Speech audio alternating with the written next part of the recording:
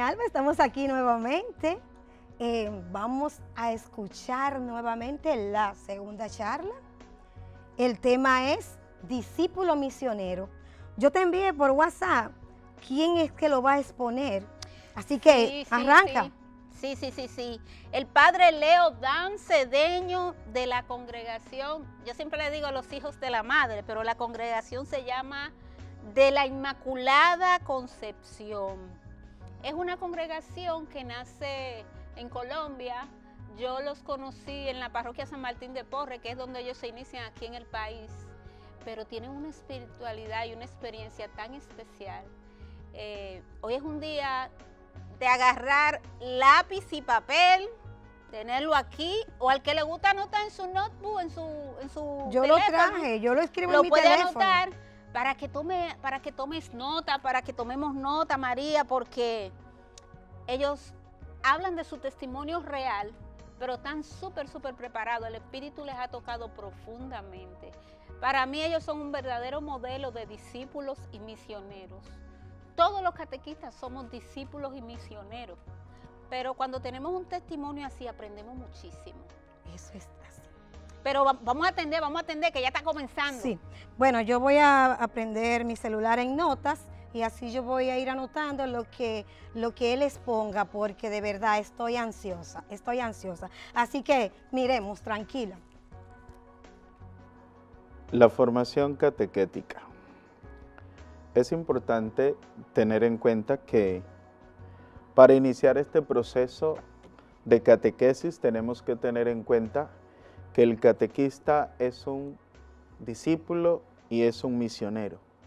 Y para poder comprender estas dos palabras de ser el catequista, un discípulo y un misionero, quise tomar las palabras de nuestro Santo Padre emérito, Benedicto XVI, que nos dio en el numeral 146 de Aparecida. Nos da como unas, unas reflexiones sobre lo que es el discipulado, para poder comprender la misión que cada uno de nosotros como catequistas tenemos ante esta responsabilidad que el Señor nos ha encomendado, esa misión de evangelizar. Nos dice nuestro Papa emérito Benedicto XVI, que cada uno de nosotros misioneros y discípulos de Cristo recordemos. El discípulo, fundamento así en la roca de la palabra de Dios, se siente impulsado a llevar la buena nueva de salvación a sus hermanos. Discipulado y misión son como las dos caras de una misma medalla. Cuando el discípulo está enamorado de Cristo, no puede dejar de anunciar al mundo que solo Él nos salva. En efecto, el discípulo sabe que, sin Cristo no hay luz, no hay esperanza, no hay amor, no hay futuro. Esta es la tarea esencial de la evangelización, que incluye la opción preferencial por los pobres, la promoción humana integral y la auténtica liberación cristiana. Jesús, al encuentro de las personas, salió a reconocer sus situaciones muy diversas, hombres y mujeres, pobres y ricos, judíos y extranjeros, justos y pecadores. Nuestro Señor invitando a todos a su seguimiento. Hoy, al igual que ayer, sigue invitando a encontrar en él el amor del Padre. Por eso mismo el discípulo misionero ha de ser un hombre o una mujer que hace visible el amor misericordioso del Padre, especialmente a los pobres y pecadores. Al participar de esta misión, el discípulo camina hacia la santidad. Vivirla en la misión lo lleva al corazón del mundo. Por eso la santidad no es una fuga hacia el, hacia el intimismo o hacia el individualismo religioso. Tampoco un abandono de la realidad urgente de los grandes problemas económicos, sociales y políticos de América Latina y del mundo. y mucho menos una fuga de la realidad hacia un mundo exclusivamente espiritual. Entonces, mis queridos hermanos catequistas, misioneros y discípulos, ¿no? Nuestro Santo Padre Mérito nos está invitando a tener ese vínculo, ¿no? Todo bautizado, cristiano o católico, está invitado a ser catequista y como catequista debe comprender que es discípulo, debe impregnarse de la presencia del Señor para una vez que se ha nutrido de esa presencia del Señor, sale en ese caminar de misión. Entonces debemos de comprender primero qué es un catequista para poder comprender cuál es nuestra misión, por qué, por qué debemos de ser discípulos. Dice dentro de esta formación catequética, el catequista es siempre un comunicador. Es tanto mejor catequista cuanto más capaz sea de comunicar el mensaje evangélico a grupos y personas, que se encuentran en condiciones siempre diversas y singulares. Tenemos que tener en cuenta, mis queridos hermanos, que es muy importante que siempre que vayamos a realizar la catequesis, hagamos un momento de oración. ¿Por qué? Porque cada uno de nosotros primero tiene que nutrirse del Señor, permitirle al Señor que llegue a lo profundo de su ser y Él sea que te comunique cómo debes manifestarte en cada una de las realidades de las personas que te vas encontrando en el camino. Por eso se debe hacer esa oración personal, invocar la presencia del Espíritu Santo. Y tal como lo hicieron los discípulos de Maús, le digamos a Jesús, nuestro Maestro, quédate con nosotros, para compartir nuestros esfuerzos, inquietudes, necesidades pero especialmente para que Él nos enseñe a ser pedagogos de fe, de tal manera que tu nombre sea conocido, amado, celebrado y seguido por todos aquellos que quieren abrir sus ojos para verte y descubrirte presente en lo sencillo y en lo cotidiano. ¿Por qué se debe de utilizar un método, mis queridos hermanos, en este proceso catequético. Ustedes como comunicadores deben de utilizar el método. Ustedes saben que método significa vía, es un camino para recorrer. Entonces es bueno elaborar y tener claro por qué, porque con el método llegamos a esa meta. Por eso hay unos elementos importantes en este método que nosotros tenemos que tener en cuenta y esos son el elemento pedagógico, es decir, lo referente a la enseñanza, el cómo presentar las verdades cristianas para hacerlas asimilar. Tenemos un elemento didáctico que es la acción inmediata a realizar, concretamente lo relacionado con los recursos. También surge un tercer elemento que es el subjetivo, que tiene en cuenta a los sujetos, a los destinatarios, y los pone en relación con las verdades cristianas. La tarea del catequista consiste en equilibrar estos tres elementos para no caer en la exageración del activismo o en el acentuado aprendizaje pedagógico, metodológico. Hay unas tareas que tenemos que también tener en cuenta, unas tareas de la metodología. Esas tareas el catequista se centra en estos cuatro aspectos. El primero es el conocimiento de los destinatarios. El camino progresivo de educación en la fe debe llevar a un conocimiento profundo de las personas, sus cualidades, su dinamismo, sus limitaciones y todo aquello que le permita crecer como persona cada uno de nosotros debe sumergirse en esa realidad, conocer a los destinatarios, acercarse como el mismo Señor se acercó cuando estuvo presente entre nosotros. Hay un objetivo de la catequesis que es el método tiene que ser una ayuda, un medio que le permite llegar a unos fines concretos.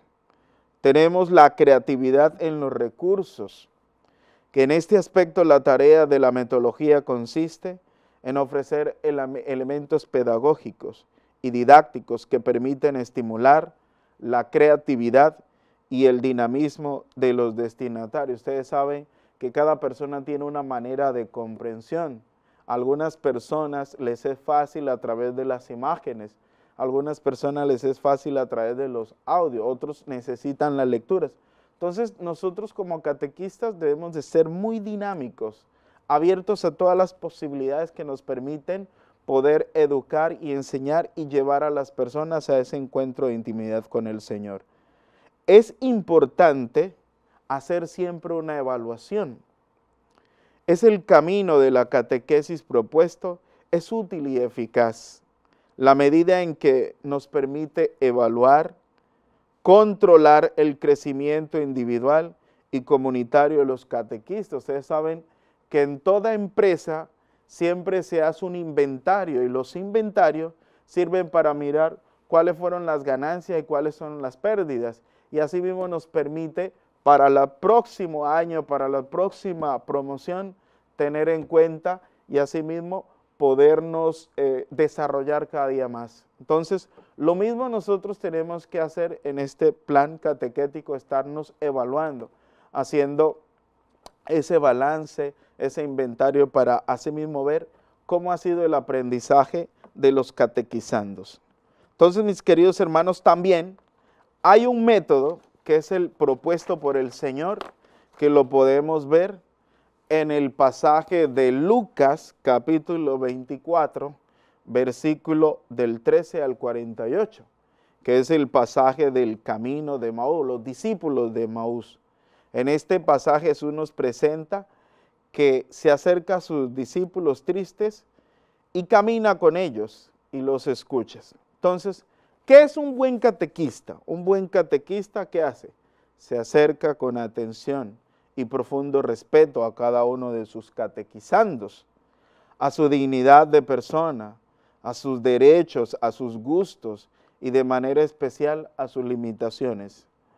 Frente a sus catequizandos, el catequista reconoce y respeta la acción del Señor y su presencia en cada uno les ayuda a descubrir su propia vocación y sus propias aspiraciones, como también les ayuda a descubrir el camino de fe que les permitirá cada día encontrarle sentido a su vida como hombres y mujeres cristianos. Tenemos que, para lograr este conocimiento de la realidad que viven los catequizandos, se necesita que el catequista sea, como ya lo dijimos anterior, creativo, dinámico y valiente, porque no faltarán los problemas y desalientos frente a esta tarea tan delicada, porque igual el catequista como sus catequizandos también vive una realidad familiar, también tiene sus propias limitaciones, sus propios problemas internos y por eso debe mantenerse en esa constante dinámica de Dios para que Él no mezcle su vida personal con la evangelización, para que eso no vaya a ser como ese limitante. Más bien debe aprovechar esa realidad que Él mismo vive para poder ayudar a otros a ser extensivos y a disponerse a ese encuentro de intimidad con Dios. Por lo tanto, mi vida, mi vida personal, mi realidad de intimidad con Dios se puede convertir en una gracia o en una desgracia, dependiendo de cómo yo asuma y cómo yo viva a profundidad mi encuentro personal con Cristo. ¿En qué sentido? Lo que yo he vivido me da elementos para tender la mano a otro y decirle, bueno, lo que a mí me pasó yo lo superé, ánimo, el Señor te puede ayudar. Y tú puedes comprender esa realidad que otros están viviendo.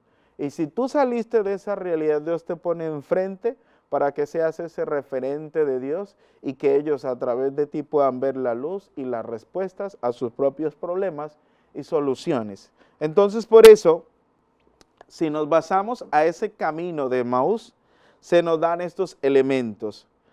Jesús se acerca a ellos, por lo tanto, el catequista, que viene siendo ese, referente de Cristo, debe acercarse, es decir, entrar en una relación personal y de confianza con cada uno de sus catequizandos. Caminar con ellos motivando al diálogo para que los catequizandos hablen. Y usted, catequista, esté siempre en actitud de escucha. Muchas veces nosotros no estamos dispuestos a escuchar, no estamos dispuestos a disponernos, digamos así, valga la a conocer la vida del otro. Hay una palabra que yo siempre digo que nosotros la manejamos mucho, tiene una doble dinámica, pero nosotros la utilizamos en una sola dinámica. La palabra inclusión. La inclusión muchos de nosotros la utilizamos frente a los demás. Venga, conozca, nútrase de lo que nosotros tenemos, porque lo que nosotros le ofrecemos es lo que le va a dar sentido a su vida, pero nosotros no nos incluimos en la realidad de la persona. Y nosotros tenemos que manejar en esa doble dinámica. Inclusión es, tú me conoces a mí, pero yo también te conozco, porque tu vida tiene algo de interesante e importante y por eso el Señor nos ha mantenido en esta relación de intimidad. Tú te nutres de lo que Dios va haciendo en mí y yo me nutro de lo que Dios va mostrando en ti. O sea que la evangelización es una doble dinámica en la que Dios se da a través de mí, pero yo también recibo a través de ti. Entonces, mis queridos hermanos, es importante tener en cuenta. Entonces, ya dijimos que el Señor se acerca. Tú, catequista, debes de acercarte a tus catequizando, conocer. La iglesia tiene un método a nivel pastoral que se llama ver, juzgar y actuar. Conozco la realidad, eso es mirar. Una vez que yo conozco la realidad, hago un diagnóstico, eso es juzgar. Y actuar es, una vez que yo he visto, he conocido la realidad, he hecho un diagnóstico, ahora sí sabré cómo moverme, cómo voy a ejecutar ese plan pastoral que según las condiciones de realidad y de personas yo podré acercarme. Entonces, hay algo que para conocer la vida de nuestros catequizandos tenemos que tener en cuenta, ser delicados, tenemos que aprender a saber preguntar. Significa participar en la vida, ayudándoles con algún recurso a evocar situaciones concretas de su vida personal, familiar y social. A veces no sabemos preguntar, creemos, suponemos todo que ya lo sabemos y a veces bueno, porque hay que saber preguntar para saber escuchar. Permitirle al otro que él mismo con sus propias palabras me narre su historia, porque muchas veces nos creemos que lo sabemos todos y nos adelantamos a que el otro abra lo profundo de su corazón. No, yo ya sé lo que me va a decir. Lo bloqueamos. Y de ahí perdemos y el trabajo de evangelización se pierde. Porque suponemos, y no hay que suponer, hay que empezar a tener certezas. Y para tener certeza hay que saber preguntar y saber escuchar. Entonces, hay otro paso que nosotros tenemos, es hacer reconocer su propia fe ya que esta es la causa de tantos males que vive el hombre y la sociedad. Por lo tanto, si la catequesis propone formas, propone formar a hombres nuevos, necesariamente debe hacer nuevas las situaciones que ellos viven, porque a hombres nuevos, comunidades nuevas y diversas. Para muchos de nosotros, la modernidad significa tener lo nuevo y desechar lo viejos. En términos cristianos, la modernidad significa hacer creíble, actualizar aquello que se dio en aquel tiempo, actualizarlo en este tiempo. No es desechar lo viejo, es cómo renovar eso viejo, porque ninguna casa, ninguna vida del ser humano se debe construir sin bases. El pasado son las bases del presente y por lo tanto la iglesia tiene bases. Ningún catequista debe, de evangelizar creyendo que solo lo que está en este momento es lo que tiene sentido. Por eso, mis queridos hermanos, es actualizar constantemente. Los medios pueden cambiar, es decir, la forma de todo puede cambiar, pero lo esencial, lo sustancial no cambia. Es como si ponemos un ejemplo, la comunicación. La comunicación siempre es la misma, pero los métodos cambian. Si ustedes se ponen a ver los celulares, cambian formas, tamaños, etc. Pero, ¿qué es lo que hace la comunicación? Lo demás son arandelas que tiene esto, esto, aquello, pero lo central es la comunicación. Esa es la esencia que no se debe perder. Pero los medios cambian según las condiciones, etcétera, etcétera, como lo que estamos viendo ahorita a través de estos medios. Y que esta situación nos hizo replantear una vez más el método y la manera como vamos a evangelizar. Estamos ante una pandemia que no podemos acercarnos por saludes médicas, entonces se proyecta, pero lo esencial es el mensaje que se está dando a través de estos medios. Entonces, les recomiendo a cada uno de ustedes que siempre tengamos en cuenta que la catequesis se dirige a personas concretas que viven en un tiempo, en un espacio, y dentro de una determinada cultura que tienen una edad que merecen su propia atención, porque viven situaciones familiares, personales y sociales determinadas. Por lo tanto, mis queridos hermanos, el catequista es el compañero de camino, quien está atento a responder a las distintas situaciones que se presentan. Es un amigo no es un dictador ni un policía. Es un animador, no es el protagonista, porque los protagonistas son los catequizandos. Entonces, algo que yo les recomiendo a cada uno de ustedes catequista es que tengan en cuenta esta frase. Ustedes saben que las palabras conmueven, pero es el testimonio que arrastra.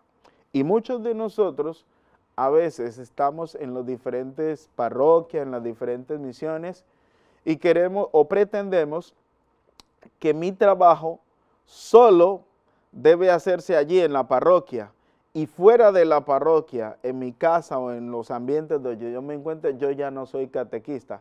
Usted es catequista las 24 horas del día. Si usted se mete en esta misión, en esta tarea y en ese llamado que el Señor le dio, Usted es catequista en su casa, usted es catequista en su grupo amigo, usted es catequista, oiga bien, en todos los ambientes donde usted se encuentra.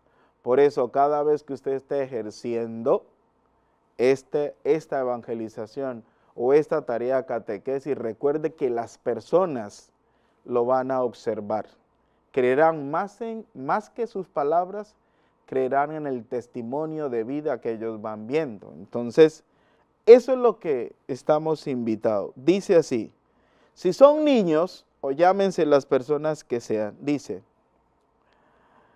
se debe tener en cuenta que en la animación, la actitud del catequista, que él es un maestro que educa e instruye a los catequizandos, más con su vida que con sus palabras, porque los niños leen más en, la, en el catequista que en el catecismo.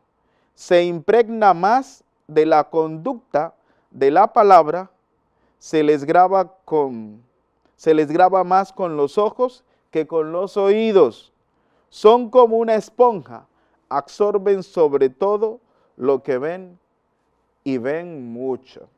Por lo tanto, mis queridos hermanos, hay que tener muy en cuenta, toda tu vida, todo lo que tú haces es un referente de Dios. Entonces, por lo tanto, el catequista siempre debe, que como discípulo, se impregna, se llena, se nutre y vive a profundidad la experiencia de Dios. Y como misionero, es un referente de ese Cristo que se hace vida en su vida, pero que se va a transmitir en la vida de los demás. Y la iglesia nos propone también que tenemos que tener un método, ¿no? No es salir así a evangelizar. Hay unas recomendaciones que se dan según el plan en cada uno de los lugares donde usted se encuentra. Ah, debe haber, oigan bien, para animar la catequesis hay que seguir un orden, aunque no es una camisa de fuerza, para quienes quieren seguir el método situacional según la realidad. Se proponen unos pasos que cada uno de nosotros debe tener. Oigan bien, hay una acogida. Cuando usted sale, debe haber un saludo, una ambientación. Usted no se va a ir metiendo así nomás. Usted tiene que conocer, dialogar con la persona. Usted que va a dar, oigan bien, usted que va a dar, usted tiene que primero recibir. Tiene que haber una oración inicial. ¿Cómo tú oras? ¿Cómo te encuentras a Dios? Y cómo Dios te comunica y te da las herramientas necesarias para que cuando tú salgas a encontrarte con esas personas, Él te muestre la realidad y te capacite. Por eso es importante orar, tener la oración inicial que prepara al catequista. Mirar las tareas, recordar y evaluar los compromisos anteriores. Uno debe dejar tarea, debe de comprometer a la gente y él debe preparar, no salir a improvisar.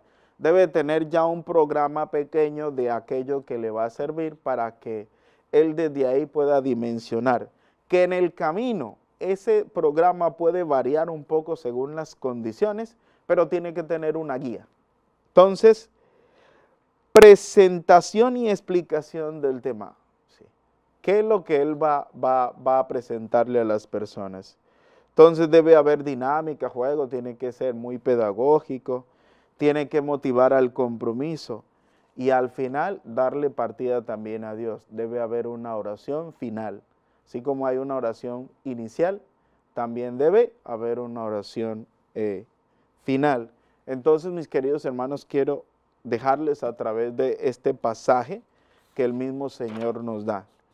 Uno desde el Evangelio, que el Señor habla sobre Juan capítulo 15, que habla sobre el árbol de la vid. Dice el Señor, ustedes, yo soy la vid verdadera y ustedes son los sarmientos. Quien está unido a mí, ese da mucho fruto, porque separados de mí no pueden hacer nada. Usted no puede ir a dar afuera lo que no vive dentro. Y termina el catecismo en el numeral 25. Dice así, la fe es la respuesta del hombre a un Dios que se entrega y se sacrifica y que Dios en ese proceso le va dando una luz sobreabundante al hombre para que él en relación de intimidad con él encuentre las respuestas a su propia vida. Entonces, tenemos que tener en cuenta que la tarea nuestra es como catequistas, discípulos y misioneros, vamos a ser siempre referentes de Dios en cada uno de los ambientes en donde nos encontramos. Entonces, que el Señor los bendiga y que les permita cada día estar en esa dinámica de intimidad con Él. ¡Wow! ¿Cuánto aprendimos hoy? Me encantó. Y me puse a pensar que realmente nosotros trabajamos con unos niños, pero ante Jesús nosotros somos sus discípulos. Y a veces uno como catequista como que se desespera, que los muchachos que se rinden. Y yo me pregunto, dentro de mis faltas, dentro de mi falta de fe, ¿cuánta paciencia ha tenido Jesús conmigo? Yo creo que esa, para mí, esa es la pregunta que me surge, de reflexionar en este día. ¿Cómo me veo yo frente a Jesús? ¿Cómo Jesús me ha moldeado? ¿Cómo yo me he sometido a Jesús eh, según su voluntad después que Él me llamó? Yo soy esa niña que a veces hay algunos muchachitos que sacan a uno de quicio, pero ¿cuántas veces yo he sacado de quicio a Jesús? ¿Tú te has detenido a pensar eso, María? Muchas veces. Eh, yo, al igual que tú, parece que estamos conectadas.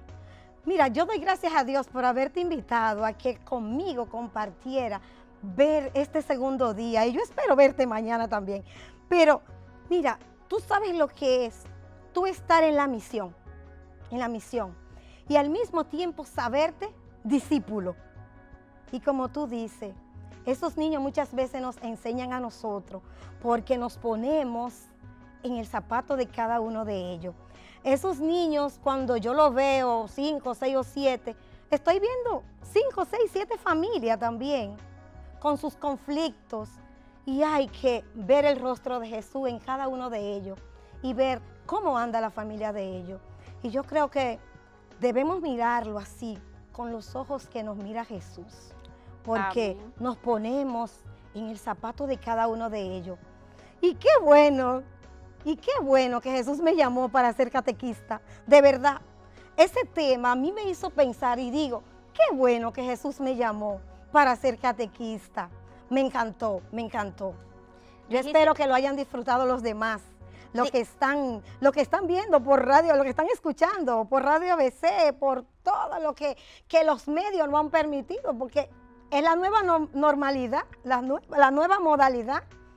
Dijiste algo bien interesante. Estás agradecida de Jesús por haberte escogido.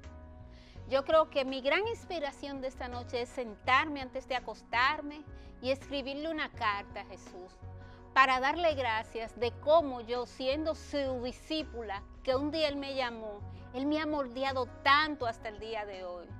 Yo no sé si, yo creo que tú tienes más años que yo en catequesis, o no sé, porque tú y yo somos más o menos, pero de verdad, la alba que comenzó un día por ayudar, por ayudar en mi barrio, no es la alba que está hoy.